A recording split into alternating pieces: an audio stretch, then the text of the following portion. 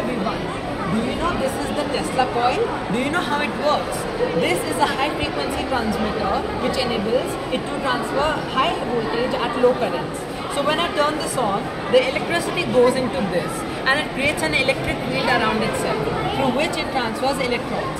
So if I bring this LED light close enough, it turns on without touching.